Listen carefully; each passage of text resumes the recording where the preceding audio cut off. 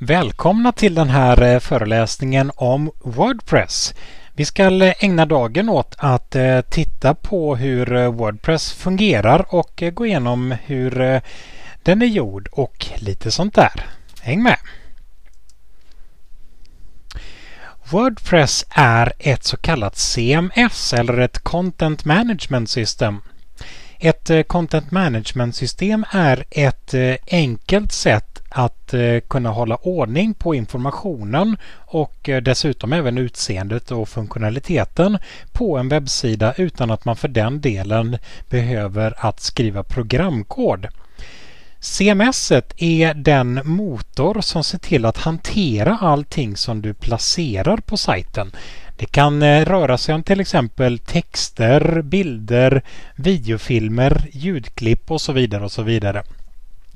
Wordpress är precis ett sånt här CMS. Wordpress är ett content management system.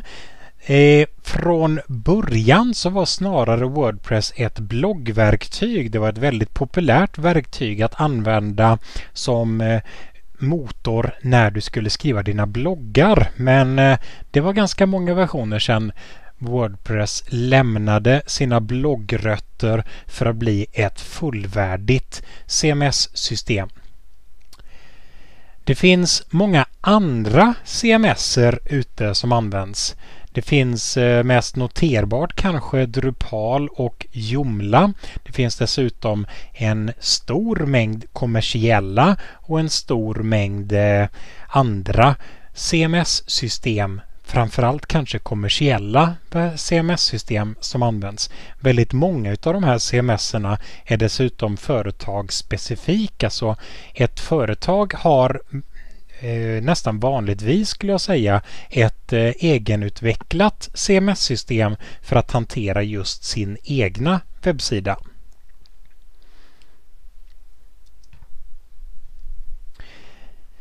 Trots att det finns väldigt många att välja på så är i mitt tycke i alla fall Wordpress normalt sett det bästa valet. Det finns så många anledningar till varför Wordpress är så bra som det är och jag tänkte vi kan väl gå igenom några utav dem. Wordpress är öppen källkod. Det är fritt att använda.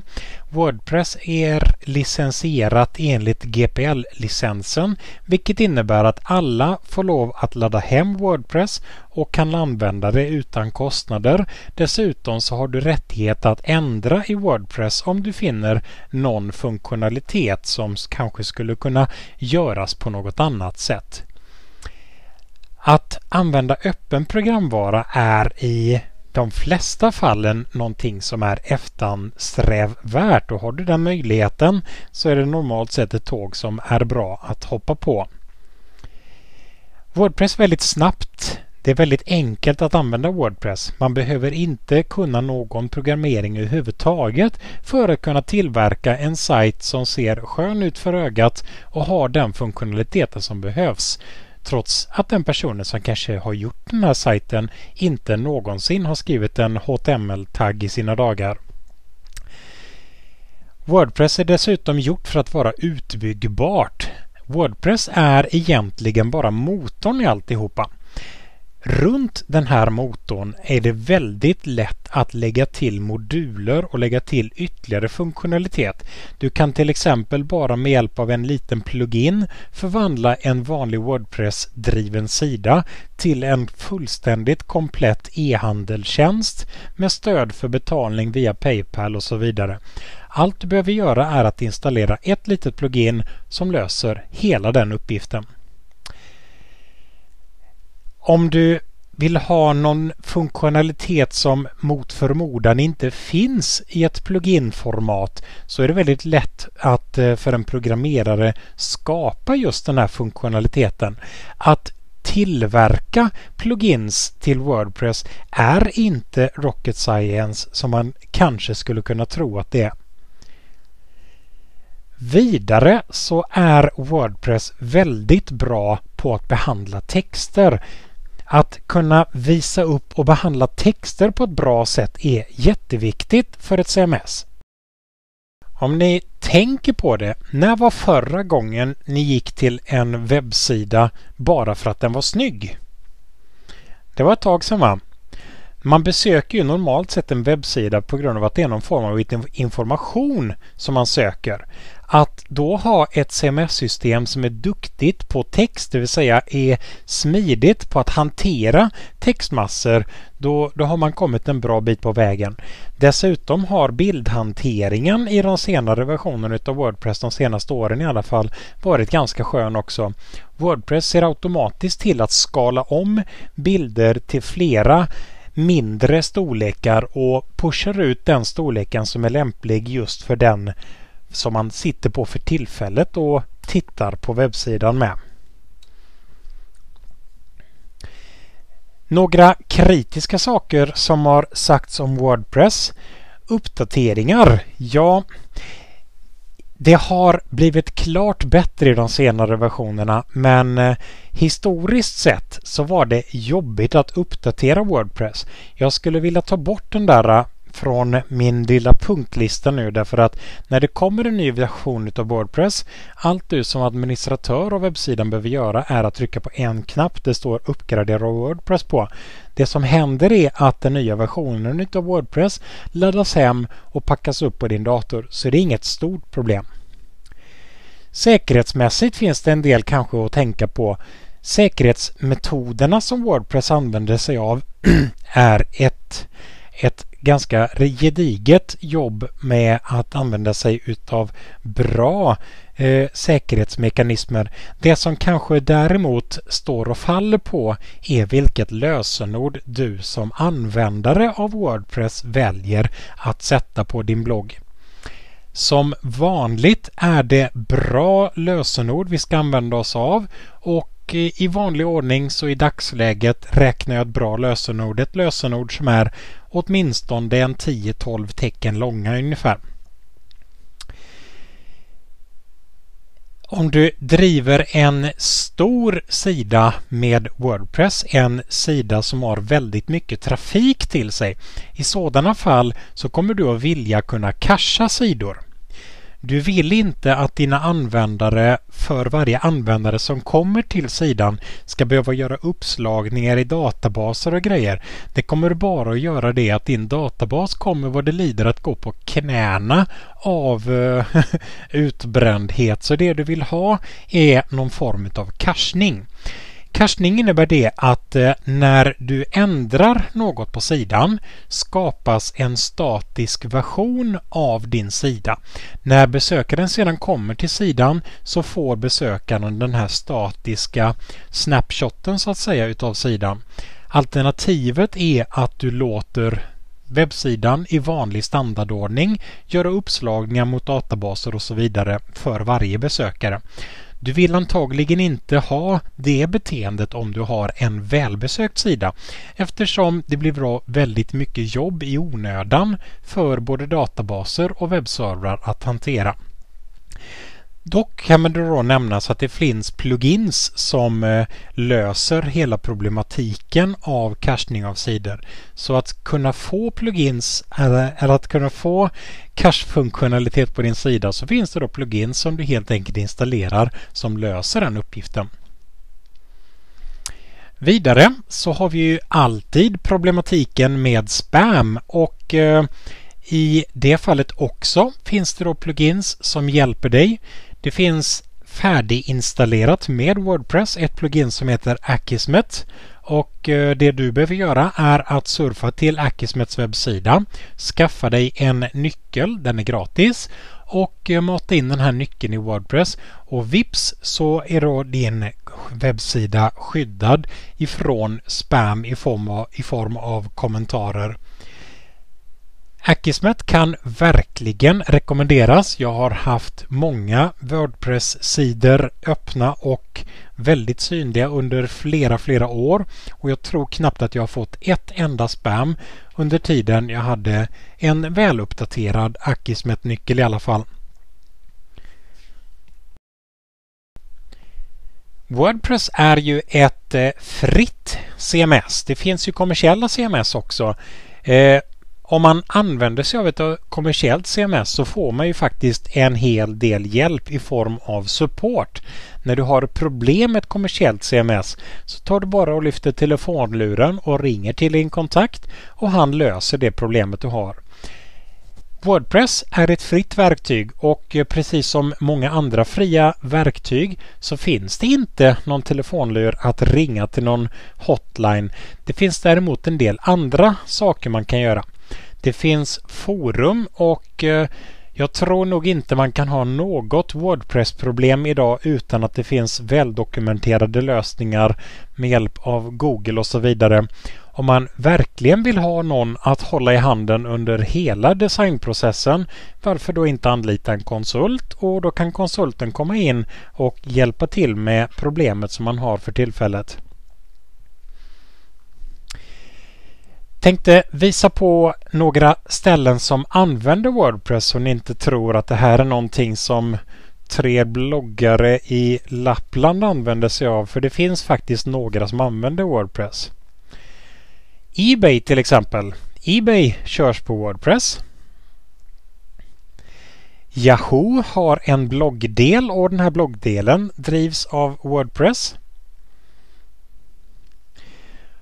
Hemsidan för Ford, bilmärket, de kör Wordpress. En eh, liten, liten blaska som heter Wall Street Journal kör Wordpress. En, eh, ett annat företag som tillverkar lite spelkonsoler. Ni har kanske hört talas om dem. Sony. De kör Wordpress. En annan liten tidning som heter People Magazine. De kör Wordpress. En eh, liten dagstidning borta i Amerikat som heter New York Times kör Wordpress. Allas vår älsklingstidning Wired kör Wordpress. En eh, viss webbläsare som heter Mozilla Firefox. Deras sida drivs av Wordpress. En liten nyhetskanal borta i Amerika som heter CNN. De kör Wordpress. En relativt välbesökt webbsida som heter download.com. De kör Wordpress. Eh, Flickr. Jag tror de har ett par tre bilder eller någonting på sin sida. De kör Wordpress. Så det finns några ställen som använder sig av Wordpress så om ni väljer att följa ner eh, Wordpress-spåret så lär ni inte vara direkt ensamma i alla fall. Tänkte vi skulle gå igenom en liten punktlista med eh, saker att tänka på när du ska eh, ge dig in i Wordpress underbara värld. Saker du kan behöva tänka på är behövs verkligen ett CMS för det du ska bygga? Om du ska göra en sajt av något slag, man kan ju alltid behöva ställa sig frågan behövs det verkligen ett CMS för det här? Om du ska göra något litet, litet, litet, ja då kan man ju faktiskt ta och sätta sig och hacka ihop det i HTML istället och lite stilmall på det där så funkar det säkerligen också ganska bra. Kanske är det du ska göra faktiskt inte så stort att du verkligen behöver ett CMS. Vidare så kommer vi ihåg det att eh, Wordpress behöver två saker för att snurra. Den behöver en eh, webbserver med POP-stöd och den behöver en databasserver också. Ni ska inte underskatta att det faktiskt finns många webbservrar som faktiskt inte har stöd för databaser speciellt. En del har inte stöd för POP heller eller något serviceskriptspråk men det är inte jätteovanligt att servrar faktiskt inte har stöd för databaser.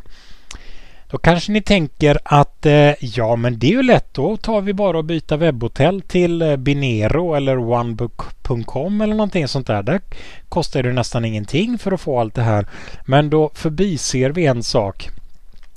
Jag har många gånger varit med om att eh, göra ett företag åt ett mindre ställe och mindre stället har ett webbhotell som jag inte hört talas om. Och det kanske inte ens var konstigt därför att det kanske är någon anställd på företaget som har en son eller dotter eller liknande som på fritiden driver ett webbhotell. Eller det kan vara någon annan kompis kompis som driver ett webbhotell och i sådana fall så är det verkligen inte enkelt att få företaget att byta till en eh, webbleverantör som har stöd för databaser. Det kanske låter lustigt men jag lovar, jag har varit där flera gånger. Okej, om vi nu äntligen bestämt oss för att använda ett CMS, ska vi då köra med Wordpress eller kanske något annat? Det finns alternativ. Det finns flera alternativ till Wordpress. De två mest kända alternativen till Wordpress heter Joomla och Drupal. Både Joomla och Drupal är fria och öppna CMSer. Båda två fungerar jättebra och är jättesnabba och vädret blir lite bättre varje gång man använder dem. Det finns alternativ till Wordpress. Vilket man kör på är väl kanske lite grann vilken man är van vid. Ungefär som eh, texteditorer. Det finns jättemånga texteditorer och alla gör samma sak, nämligen trycker bokstäver ner i filer. Vilken som är bäst och sämst, ja det är väl lite beroende på vad man är van vid så att säga. Har ni möjlighet så testa gärna både Joomla och Drupal men eh, lova att ni alltid blir kära i Wordpress i alla fall. Om du ska göra en Wordpress-sida så finns det två delar av Wordpress. Det finns en del av Wordpress där du ser på skärmen som besökare och så finns det någonting för administratörer, det så kallade admin-gränssnittet. Det här admin-gränssnittet kan man naturligtvis precis som allt annat i Wordpress förändra och tweaka precis som man vill ha det. Kanske är det som så att du vill dölja funktionalitet för vissa användare i admin-gränssnittet. Kanske vill du inte att alla användare ska kunna göra allting på din Wordpress-drivna sida. Kanske vill du ha viss funktionalitet åt vissa användare och annan funktionalitet åt andra användare så att säga. Att kolla över vilken funktionalitet som faktiskt behövs kan vara någonting att tänka på. Man kan fixa till det här admin-interfacet både så att det ser annorlunda ut genom att skinna om det och du kan använda plugins för att ta bort viss funktionalitet. Du kanske inte direkt tar bort funktionalitet, du kanske gör funktionaliteten inte synlig bara. Men eh, du kan ändra massvis med saker i admin-gränssnittet.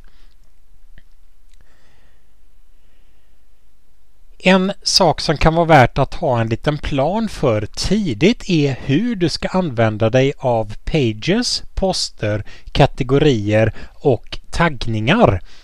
Att ha en plan för det här före man börjar kommer du att märka vara en riktigt bra idé. Att lägga upp en strategi för hur du ska kategorisera dina poster och hur du ska tagga dina poster. Det kan vara en jättebra grej att kolla upp före du placerar sajten i drift så att säga. Anledningen till detta är att om du i efterhand vill byta kategoristrategi eller efteråt byta taggningsstrategi så kan det vara ett jätte jättejobb. Du kan i värsta fall behöva gå igenom alla dina poster och ändra kategorier och taggar och så vidare på det. Wordpress kan hjälpa dig med jättemycket grejer om eh, att massautomatisera en hel del uppgifter. Men när det gäller manuellt att placera inlägg i kategorier och att manuellt kunna tagga upp olika poster eller olika pages som du har skapat. Det är någonting som vi faktiskt behöver en mänsklig hjärna till. Så ha gärna en strategi för hur du ska kategorisera din information. Om du ska göra sidor eller pages och poster och så vidare så finns det någonting som heter Custom Fields. Custom Fields innebär att du kan skapa dina speciella typer av kategorier och du kan skapa dig speciella fält i databasen som gäller just för en viss typ av inlägg och så vidare. Att fixa till det här före, det kan vara en bra idé att tänka på också. Om du behöver använda några templates på sidan, jag tänker igenom det i förväg också. Hur sidor ska relatera till varandra det är definitivt någonting att tänka på före man sätter sajten i drift. Det är också en sån här grej som är lite bökig att ändra i efterhand. Vi ska senare gå igenom vad pages och posts är för någonting. Men att ha en plan för hur man gör det före sajten lanseras, det är smart. Navigeringen nämligen, den bygger väldigt mycket på hur du katalogiserar din information i form av poster och pages och vem som är förälder till vem och så vidare. Någonting som faktiskt går att ändra i efterhand, så någonting som man kanske inte måste tänka på första dagen.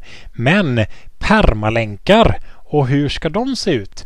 Att ändra permalänkar kan innebära problem och eh, nu kanske jag ska förklara vad en permalänk är också. Om du inte ändrar någonting i Wordpress så surfar du till eh, en sida som heter till exempel blablabla.com snedstreck p är lika med 437. Det kanske inte är så snyggt att ha en sida som heter just P är lika med 437.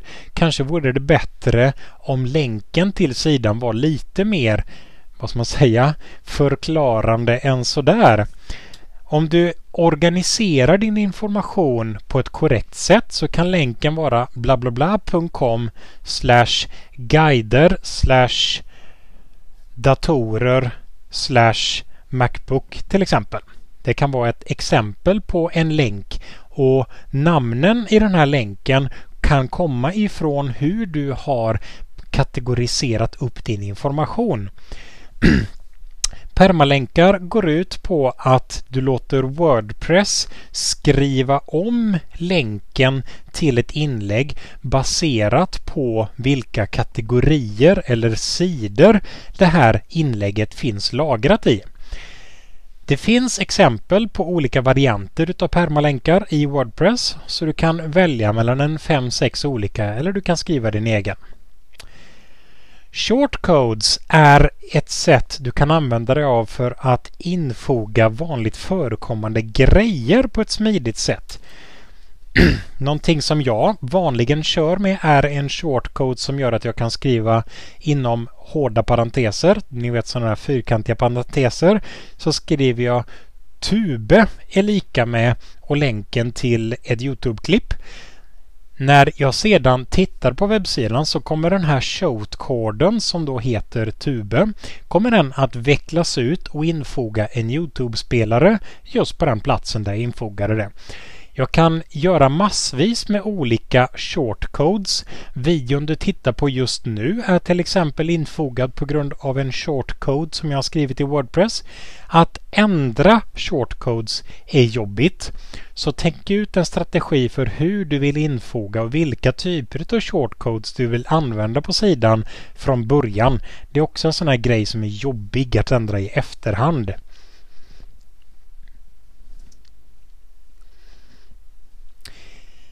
Som webbutvecklare vill man ju inte gärna eh, behöva bli uppringd av sin uppdragsgivare stup i kvarten långt efter det att man har avslutat sitt uppdrag och fixa lite grann du vet. Det du vill är att när du utför jobbet på sajten så vill du ju naturligtvis eh, lämna efter dig någon slags manual. En liten förklaring till hur gör man för att göra det där och hur gör man för att göra det där. Så före du lämnar ditt uppdrag, se till att du har fått timmar för att utveckla just en manual. På ett sådant sätt så kan då den som numera ska driva och fylla sidan med information. På ett sådant lätt sätt kan då den personen titta i manualen och se jaha det var så jag gjorde för att fylla på med en ny produkt. Eller det var så jag bytade telefonnumret på första sidan och sådär. Så det är också en sån här grej som man inte ska glömma av när man gör en sajt. Att göra en manual för hur den som får sajten lätt kan uppdatera saker och ting. När man jobbar med Wordpress har man det ganska väl förspänt därför att det är ganska enkelt att ändra information i eh, en Wordpress-driven sajt. Det är ju trots allt ett CMS men ändå så kan det definitivt behövas en liten instruktion om hur man kommer igång så att säga.